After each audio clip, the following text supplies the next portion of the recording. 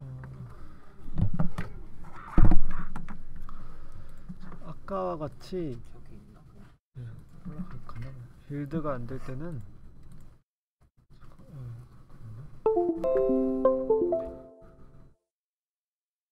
어, 네, 빌드가 안 될 때는 보시면 어 이거 녹화하고 있어요? 네 녹화하고 있어요. 그 컬러 스페이스를 감마에서 linear로 바꿔두면 잘 됩니다. 그래서 지금 잘 되는 상황이고 잘 되는 상황이고 지금 어, 플레이 해보면은 플레이어가 어, 공중에서 떨어지게 돼요. 왜냐면 바닥이 없기 때문에 이럴 때는 game object에서 plane plane에 넣어주고 이 위치를 일단은 000으로 잡아주시고 일단 제 모델을 넣으면 기본적으로 좌표부터 네 그것도 왜 수정이 안 돼? 어. 어? 저 무슨 버그냐 이건 또? 무슨 버그야? 아, 이거 무슨 버그야 또? 네, 일단은 이쪽으로 놔주시고 좌표가 중요한 게 아니니까 그래서 얘를 일단 키워줍니다. 이거 스케일 하면서 키워주시고 중요한 게 여기서 collider가 있어요. 이게 지금 object는 기본적으로 들어가 있는데 만약에 우리가 불러온 object일 경우에는 collider라는 게 없을 때가 있는데 이거는 add component에서 collider 치면 이렇게 나와요. 그래서 클릭해서 추가만 해주면 돼요. 이러면 이제 바닥이 바닥의 역할을 할 수 있게 돼요. 어, 키보드가 빠진 건가?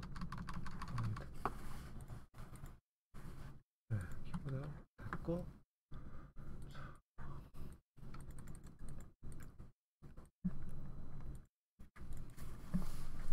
왠지 모르겠다. 일단은 여기서 이제 build and run을 다시 한번 해주게 되면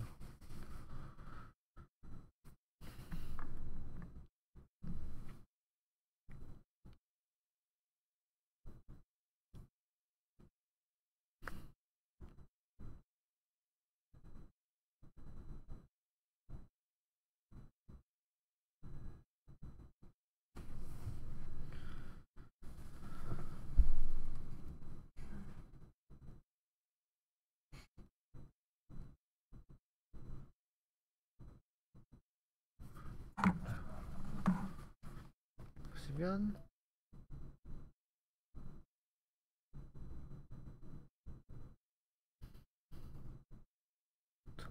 이렇게 안 떨어지고 구경을 하실 수가 있어요 큐브를 자 그러면. 그리고 이거를 하고 유튜브 링크 두 실행 배터리어 세팅 물리엔진 세팅 됐고 방금 이게 물리엔진 세팅이에요. 음. 방금 콜리더 이게 물리엔진이에요 별거 없어요. 왜냐면 우리가 복잡한 물리가 안 들어가기 때문에 별거 없고 한 거니까 그리고 저희가 이제 이것들은 제가 봤을 때 어, 이거 두 개는 우리가 지금 여기서 하시겠다. 자 이제 추가로 이제 material을 설정할 수가 있어요. 그래서 그래서 create material material인데 이게 일반 material인데 여기서 색깔을 바꾸고 싶다. 빨간색 설정해서 집어넣기만 하면 돼요. 예, 일반 material 설정.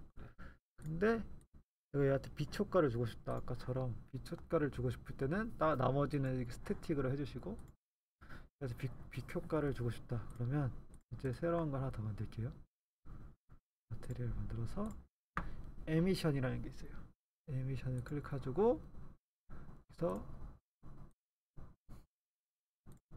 어.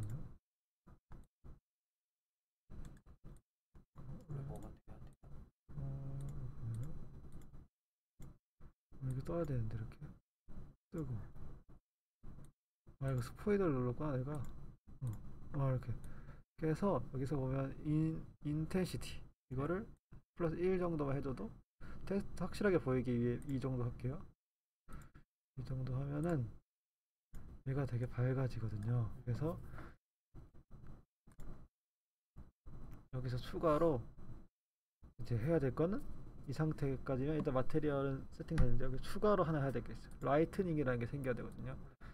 lighting이라는 게 생기는데 그래서 new lighting setting 한번 눌러주세요. 그러면 여기서 들어갈 거고 이제 우리가 여기서 여기서 렌더링 하는 방식이에요. 그래서 보통 여기서 바꿀 값은 크게 없고요. 이게 이게 이제 quality 나머지는 이제 값, 값이 커질수록 사양을 많이 먹어요. 음. 근데 일단 기본 값을 유지해 줄게요. 유지해 주시고 GPU가 좋은 컴퓨터일 때는 GPU로 해주는 게 좋은데 일단 이 값을 CPU로 둘게요. 이 상태에서 generate lighting 한 번만 눌러주면 돼요. 근데 이거 엄청 시간이 걸리기, 걸리기 때문에 직접 누르진 않을게요. 거의 한 엄청 시간 걸려서 그래서 여기까지가 lighting. 음.